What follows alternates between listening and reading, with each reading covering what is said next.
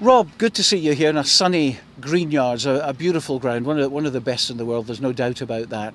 Now, of course, you've been involved obviously in Melrose and you're involved with, with Southern Knights. And a couple of weeks ago, uh, the departure of, uh, of the head coach, Rob Chrystie, he's uh, gone on to the Edinburgh Rugby Academy as the senior yep. coach there, yep. which, which is fantastic news for him. Yep. Uh, we've also seen Mike Dalgetty resign from the organisation as well. So, can you bring us up to date with, with what's actually happening? Because there's obviously a lot of Southern Knights fans, Melrose fans want to know what's going on. Yeah, yeah, no, of course. Sure. Um, well, obviously, Rob, Rob Chrystie about two weeks ago was offered a job with Edinburgh Rugby. He's going to be working with the the, the level three, the stage three academy players at Edinburgh. So that's a that's a step up for Rob, and, and he's done a really good job at Melrose over. I think he's been Melrose about nine years coaching in, in whatever capacity, and then the Southern Knights. And as I say, he's done a really good job, and wish him well. It's a, it's it's it's sport in general, but professional sport even more. Things things change and things move on, and and Mike Dalgetty, Dash Dalgetty is another one. You know who has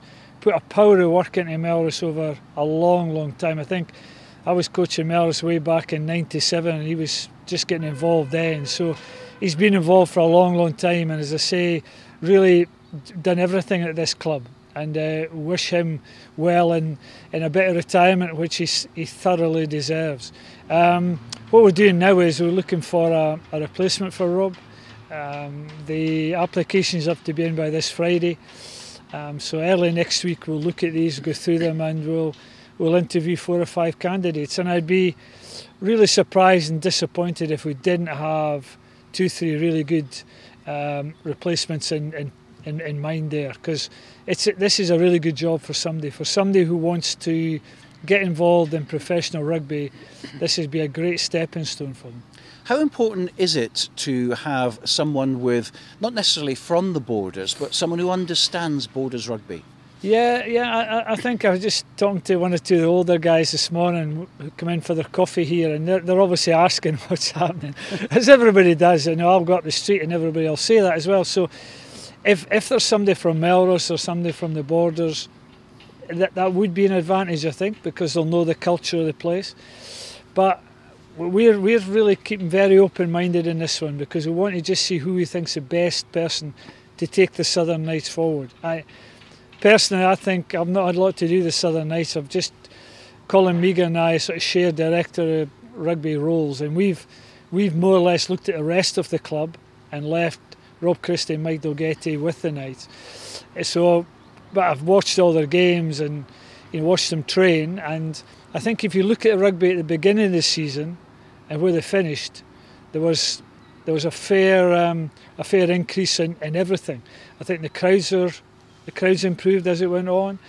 I think people had to realise that the players hadn't played for 18 months or two years. So I think it took everybody two, three weeks to get into it. But I think some of the rugby later on was very good.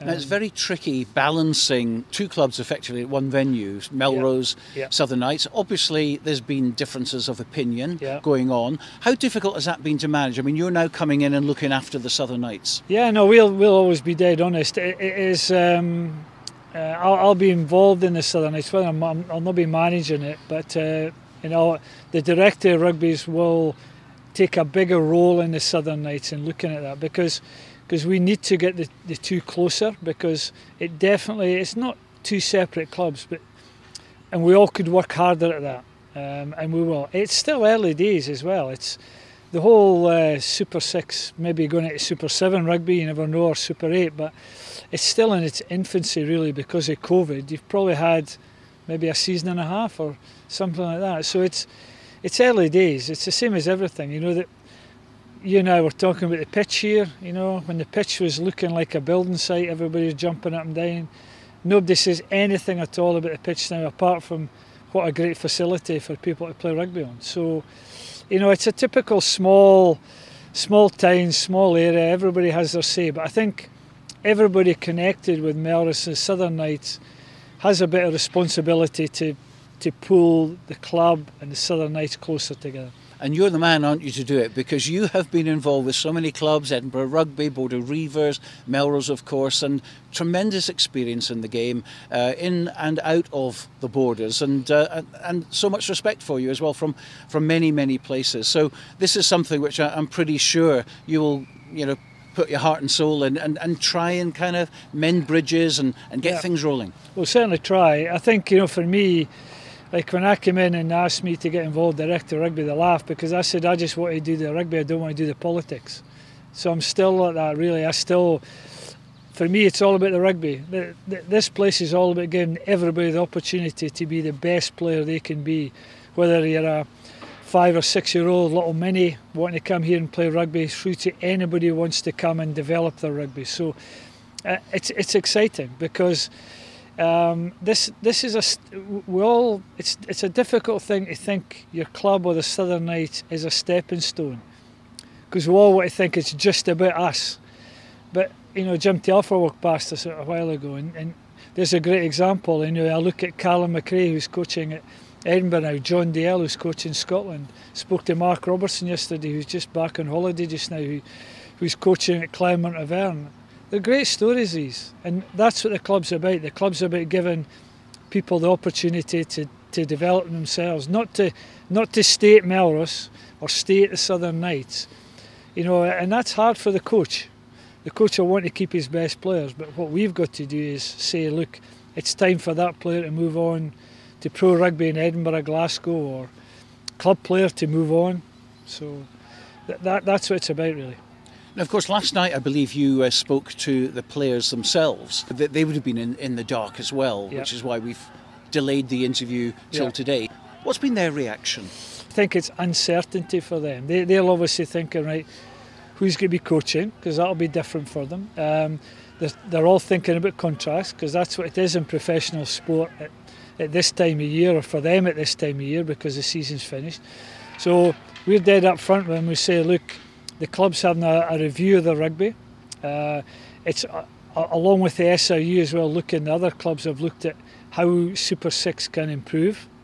So how can maybe the SRU support the clubs a bit better? They do well, but how could that improve? So we want to sit down and do that properly. We sit to the players we won't hang around. We'll tell them very soon whether they're getting a contract or not. So they, will they'll just find us true to their word. Um, uh, Andy Purvis, who's chairman of the club now, Graham Burgess, the finance director, they were. It takes a lot of money to run this club as well, and um, the last couple of years have not been easy. And um, so they're very honest with the players where we are financially as well. So, um, you know, Melrose, if he'd said maybe three years ago that Melrose wouldn't have had a sevens and they've still got a semi-professional club going, that's that's not been easy for anybody. That so, but we'll just be upfront and honest with the players, and um, and we've said to players like the last I'm saying 30 years, but when I was a player here, Melrose wasn't as good, and that's obviously because I was playing Stuart. but um, but since you know, if I'm looking the last 30 years, Melrose have always been there or thereabouts in Scottish rugby. So they've always tried to be the best they can be. They've always tried to improve. They've always tried to kick on. Just the same now, very same. Also, as well, I mean, before COVID, the, the Super Six plan was there and it included a cross border competition yeah. with Wales. Yeah. That seems to have kind of come off the table now, and that presumably is a big concern for, for players and, and the club themselves. Yeah, it, it probably is. I'm not sure all that, all the ins and outs here. Um, Andy Purvis had a meeting with the SRU yesterday. They were going over one or two things, and I think COVID's killed a lot of that, and hopefully that gets moving again. I can remember the good old days when pro rugby started, and I was with. Um, I think I was with it at the time. Not be, I was with Glasgow Caledonia. They called them at that time, and we were we were in a Welsh league. There was two the two Scottish teams and ten Welsh teams, and we went down the bus. So we ten bus journeys to Wales, and that's it was crazy in these days, but that's how it was. So, as I say, Super Six is just starting. So, it's um, it's hopefully got a rosy future, hopefully. And Mark Dodson, at the, the SRU has, has, always made no secret of the fact that he wants to build it to a Super 8 and then a Super 10, and yep. you know who knows beyond that. Yep. Uh, and there has been talk in the press this week, obviously about London Scottish. We've see, all seen the letters, yep. the communications that have gone on, and the talk of uh, a team in Glasgow, which was always one of the criticisms I think early yeah, on. Get Glasgow involved, and of course if you're building teams into it, then you're building weeks and weekends into it as well, which means more rugby and you, you then wouldn't need to worry about cross border. No, that's very true, Stuart. I think um, the increase is an interesting one because it is, is a strain on everybody. Like if you look at a club like like Melrose, and you look at having the Southern Knights and the rest of the club, it's a lot of work for a small number of people. Like so, you find there's a game here on a Friday night. It's maybe the Southern Knights.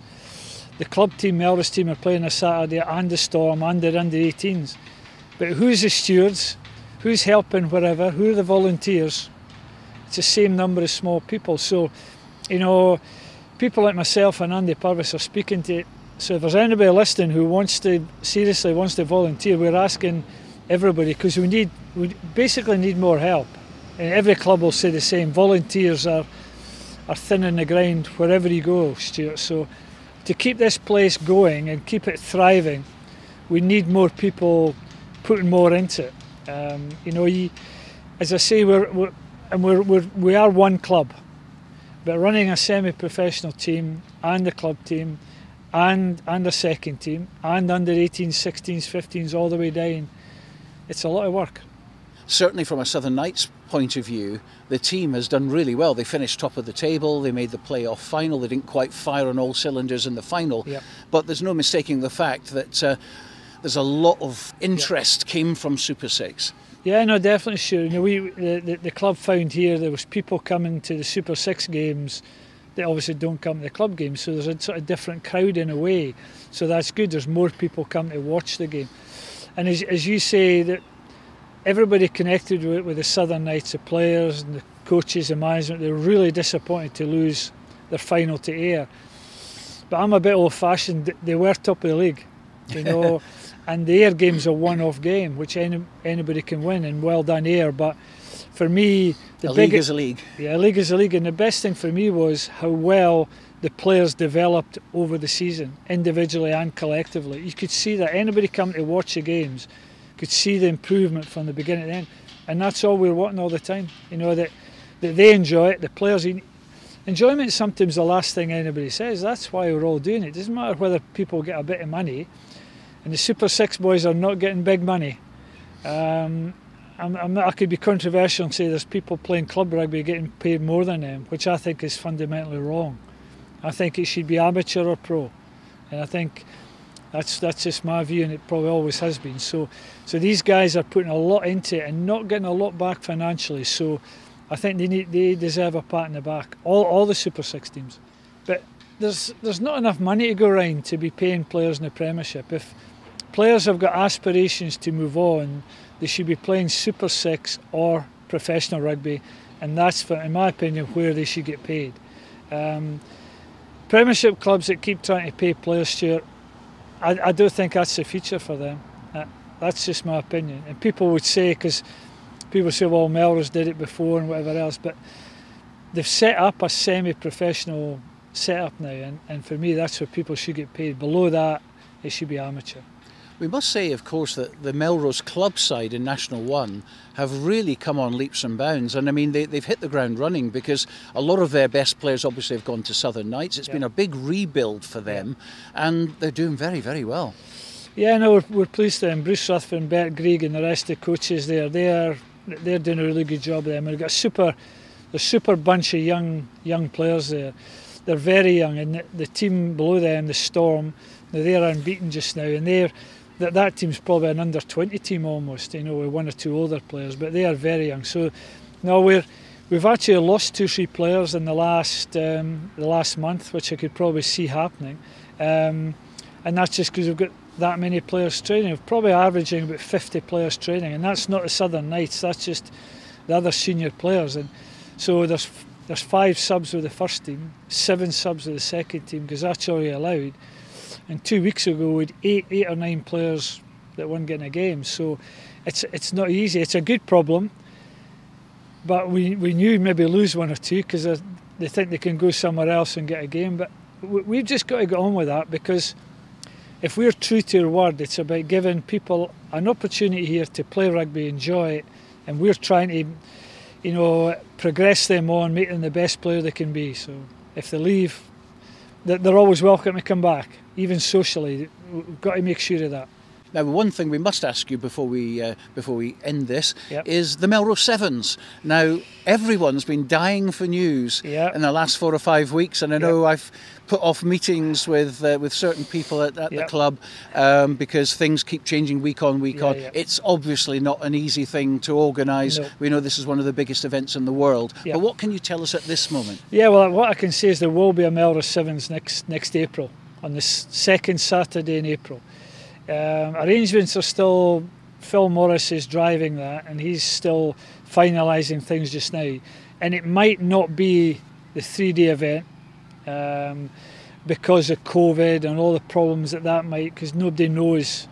It's uncertain what, what we're going to be like in April even and people coming in and whatever else. So, But there will be a Melrose Sevens on the second, second Saturday in April next year and we might have something later in the summer as well. But certainly, the, the club needs Melrose Sevens in every way. You know, like you were saying before, I'm involved. I'm actually chairman of the Melrose Festival. They've not had a festival since I was chairman. I think I'm a jinx on that as well. So, um, and we're just saying that needs to happen. You can't, you know. I, I think there'll be a real, a real buzz about Melrose Sevens. Like I think most things that have not happened as soon as they come back again, everybody says, it's like, I wasn't at Murrayfield on Saturday, but I've spoken to quite a few people who absolutely loved it because it was full. Yeah. You know, it was like, it was like being a kid again, you know, it's like, yeah, I'm, i can go to Murrayfield and there's a great atmosphere. So I w- I'd be really disappointed if that's what people don't think of Melrose Sevens. You know, it's basically rugby, but it's a real good day out as well. So, yeah, no, Stuart, I, I like a bet, but, you know, I would, I would, it would be, a, it would be, it would be, the odds would be, you know, very much in favour of Melrose 7 second Saturday in April. There was a lot of chat, of course, uh, where, before COVID again, um, about the new the new look Melrose Sevens, and it was going to be a big festival, three day, maybe even four days, yeah. music, big country, and yeah, all these yeah, sort of people. And uh, and there was talk, obviously, about the tournament, uh, whether it was going to be extended, how it would work with the Super Six teams, etc., etc. And I think initially they came up with the idea of your normal sevens on the Saturday, and then a Super Six kind of tournament with maybe guest size like Samurai or whatever um, on the Sunday. Is that still on the table?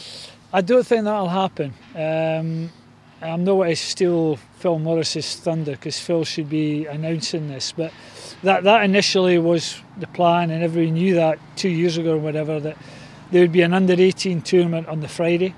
There'd be some in the Thursday night as well, but not rugby, but not rugby playing. It would be a, a question and answer, a, um, a get together of personalities and whatever, just rugby, good rugby chat. The Friday was going to be an under 18 tournament, club tournament on the Saturday, and then uh, a semi pro or Super 6 plus other teams the Sunday.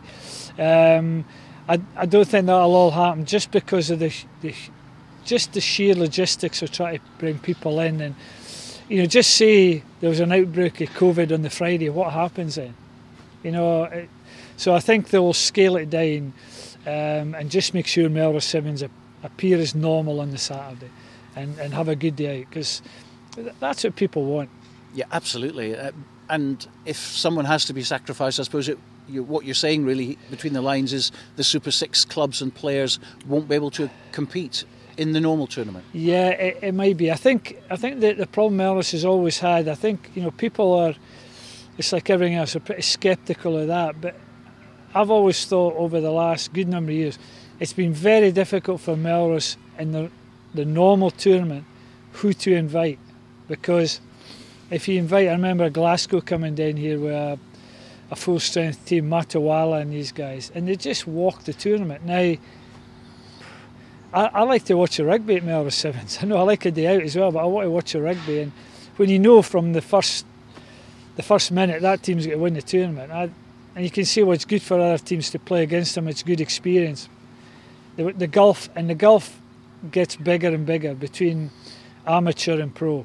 Physically, like if I watch the Southern Knights on a Friday and I watch the club club games on the Saturday, skill level should be a bit higher, which it maybe is, but it's the sheer physicality of the games, you know, and it's the size. You look at pro rugby. You go, anybody goes and watches a pro team training now.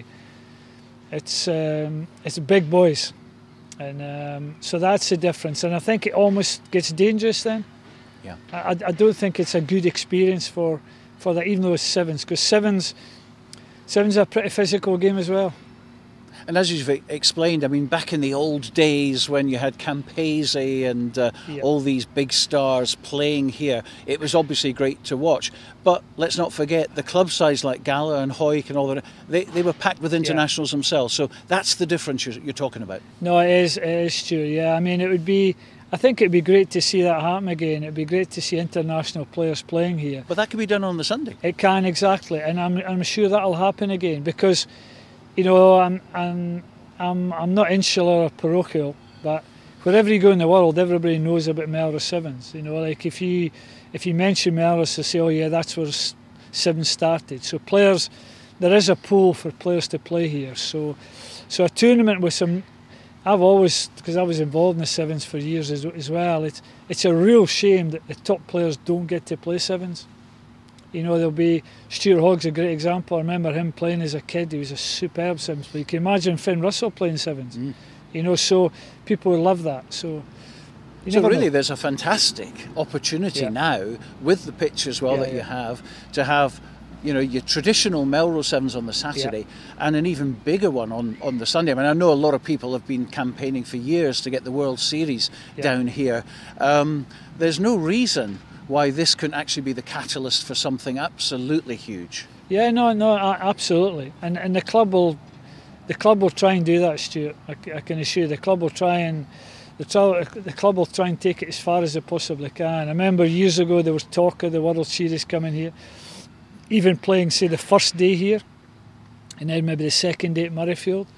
Uh, it never really happened. Um, and I, I remember I've seen that in Wales before, where uh, they played, I can't think it was maybe Bridgend or something the first day, then played at Cardiff in the second.